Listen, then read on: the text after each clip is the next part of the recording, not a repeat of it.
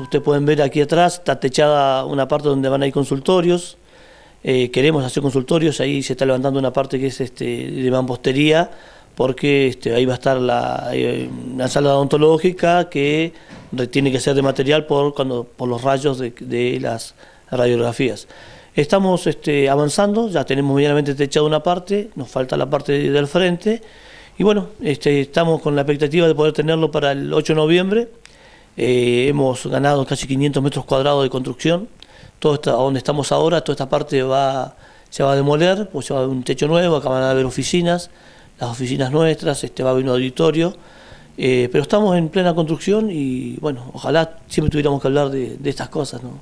Bueno, ¿y qué va a pasar cuando, cuando comience la obra entonces, donde ahora están ubicadas eh, estas oficinas donde estamos en este momento? ¿Se van a mudar o van a tener que cerrar unos días para que se pueda trabajar tranquilo? No, la empresa está haciendo, eh, va, a terminar una parte medianamente para que nos podamos trasladar, para que ellos puedan este, trabajar en, este sector. Y estaremos un poco apretados unos meses. ¿qué bueno, pero ¿para cuándo entonces estiman que, va a estar esta hora? Porque bueno, sabemos que en realidad estamos en veda igual los muchachos están trabajando. Sí, hoy, hoy este, hay muchos, muchos aditivos químicos que se puede trabajar hasta con temperaturas de 10 grados bajo cero.